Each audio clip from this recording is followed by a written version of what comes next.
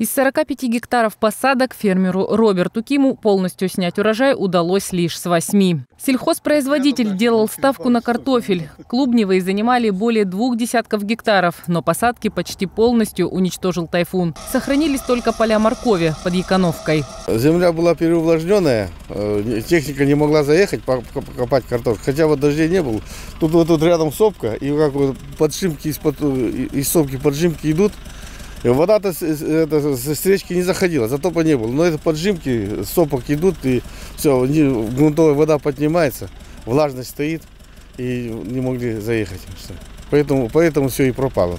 Сбор моркови идет от рассвета до заката. Трактор поднимает корнеплоды. Далее формируются мешки для отправки в хранилище. А вот огурцов, свеклы, картофеля и арбузов в этом хозяйстве не осталось. Утонули. Уссурийский фермер научен многолетним опытом и потери предусмотрел заблаговременно. Застраховал поля.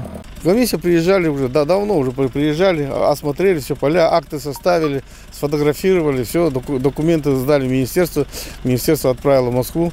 Сейчас а как министерство посмотрит. И страховая компания тоже. Мы все, у нас поля застрахованы. Страховую компанию тоже сдали, тоже, тоже ждем.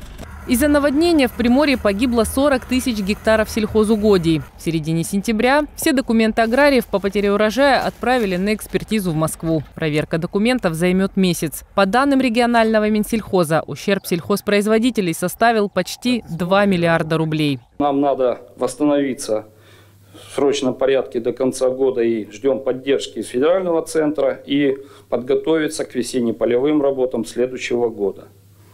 Этот год сложный.